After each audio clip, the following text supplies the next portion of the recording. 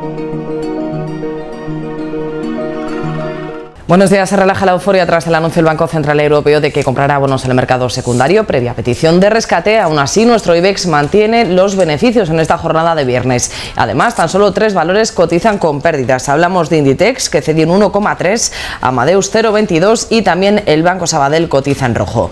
Por el contrario, hoy Bankia se apunta a los números verdes, más allá del 2%, y también Gamesa, cuyos títulos rebotan un 2,4.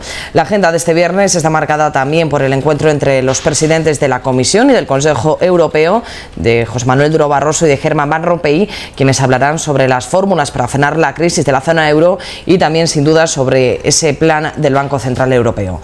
Además de varios datos macroeconómicos como la balanza de cuenta corriente de Alemania o la producción industrial de España, en Grecia hoy vuelve la troika. Con todo ello, los números positivos también se mantienen en Europa y en Asia, donde el IKEA ha cerrado con importantes subidas más allá del 2% hasta los 8.871 puntos.